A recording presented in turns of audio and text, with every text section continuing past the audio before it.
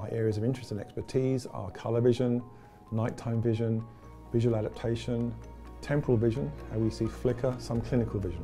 I did a psychology degree in Oxford and I became more interested in the vision side. What keeps me interested is trying to answer questions about how the visual system works and how vision works. So good quality LEDs um, can improve our quality of life. Uh, they can allow us to um, control the colour of the light and the intensity of the light and we can use them to mimic the environmental light changes.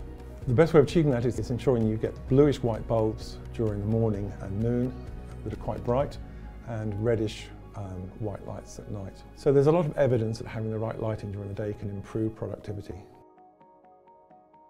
Lighting is important for children uh, because you want to have a full visual environment for their development. Myopia is a form of short-sightedness and it's estimated that by 2050 50% of the population of the world will suffer from myopia. The incidence of myopia in children seems to be reduced if they spend time outdoors during the day in bright sunlight for a few hours a day. Children who don't spend time outside will help to have bright bluish white lighting during the day for a few hours.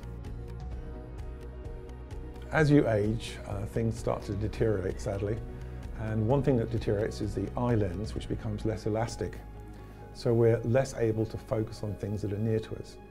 It's a problem called presbyopia. So when you're old, it's quite important to be able to adjust the intensity and the colour of the lights.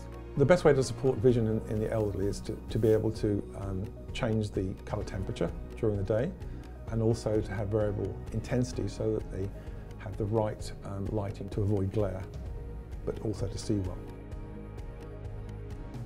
So in order to make your environment feel more comfortable, you need to understand your lighting and how it affects your circadian rhythm and how it affects your arousal and sleep patterns.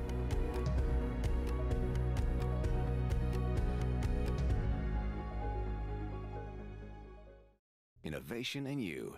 Philips.